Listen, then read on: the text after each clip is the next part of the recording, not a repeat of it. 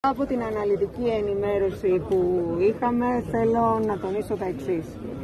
Μεγάλη προτεραιότητα αυτή τη στιγμή έχει η στήριξη των αστέγων. Η σύντησή τους και η στέγασή τους. Γι' αυτό και θα πρέπει η αυτοδιοίκηση να έχει τη δυνατότητα για να τους στηρίξει και να τους βοηθήσει να ζήσουν άμεσα από τις επόμενες μέρες με αξιοπρέπεια. Χρειάζονται κοντέινερ σε όλα τα χωριά. Ο κόσμος δεν θα εγκαταλείψει τα χωριά του και τα σπίτια του τα κατεστραμμένα. Επομένως ο σχεδιασμός πρέπει να γίνει με βάση αυτή τη λογική. Το δεύτερο πολύ σημαντικό θέμα έχει να κάνει με τα σχολεία τα παιδιά και τον ψυχικό τους κόσμο.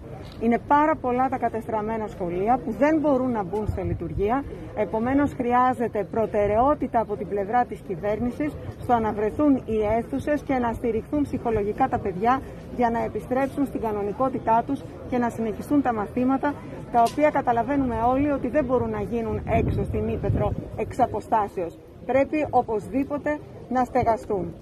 Η κυβέρνηση έχει ήδη ανακοινώσει μία σειρά από μεμονωμένα οικονομικά μέτρα, τα οποία είναι στη θετική κατεύθυνση.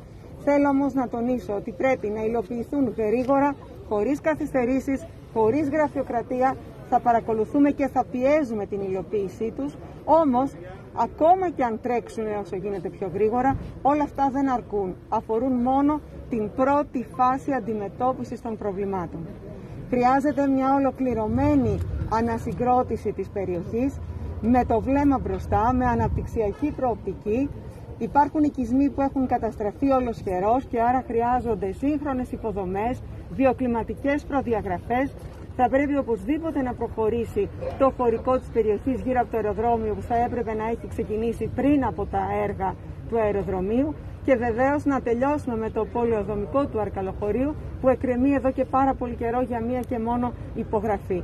Όλα αυτά τα θέματα θα πρέπει να μπουν σε μία σειρά. Εδώ βλέπω ότι υπάρχει η διάθεση συνεργασίας, όμως θα πρέπει να δοθούν οι λύσεις και οι απαντήσεις από την πλευρά της κυβέρνησης. Δεν μπορεί από μόνη της η αυτοδιοίκηση να αντιμετωπίσει την τεράστια καταστροφή.